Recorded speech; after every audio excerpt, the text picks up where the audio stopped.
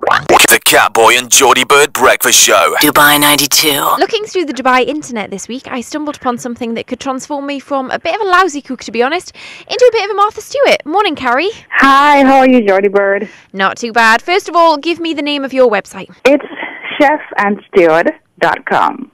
Chef, A N D S T E W A R D. And you are the wife of a husband and wife team.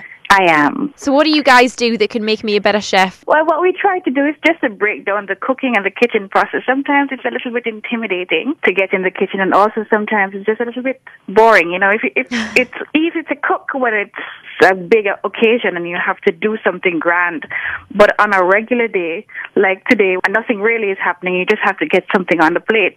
Then that's what I'm trying to give inspiration to do. So, on the website, what have we got? We've got everything from free cooking classes in terms of teaching people how to do different things and different kitchen terms. What we do is that apart from the regular blogs that will give you just, you know, recipes and so on, because we have the expertise of a chef. That's your we've hobby, right? much- right. We've parlayed that information onto other people. So, for example, there the the whys, you know, those those missing links. We know perhaps a few things, but we don't know why. And sometimes not knowing why means that we'll probably break the rules unnecessarily, or don't know how to break the rules. So that's the kind of advantage that we bring to the to the table. So you learn how to do different things. In addition to which, you'll find new ways to do things like scramble eggs, or Ooh. you know, just just doing different things. How to cook a perfect egg is also something. You know, sometimes you get that green thing around the the, the yolk, which is not cute. It's a wide range of things. Kari, this is fantastic because I'm having a dinner party tonight. Is there anything on there that I could cook? There are lots of things on there that you could cook. There is a salsa that you can make at home, which is actually much better than anything you could buy in a store. If you taste our salsa, then it's called a reggae salsa.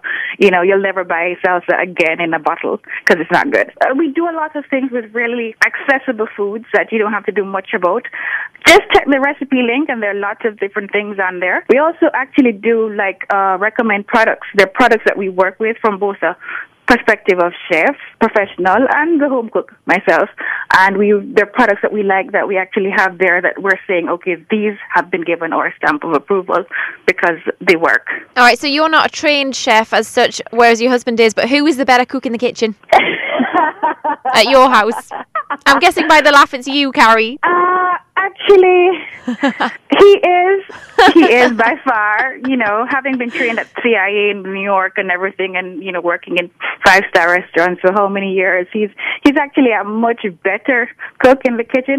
But when it Oh. comes down to like our home cooking or Caribbean cooking, because we're from the Caribbean, we're from Jamaica, I think I have that part locked. You take it. Well, that's lovely. I'm definitely going to be checking the website out. I'm going to make that salsa tonight. And thank you so much for coming on. Thank you for having me. Lovely. You have a great day. Thank you, and likewise, have fun in your kitchen, Geordie Bird. Wake up with the Catboy and Geordie Bird Breakfast Show. Dubai 92. You.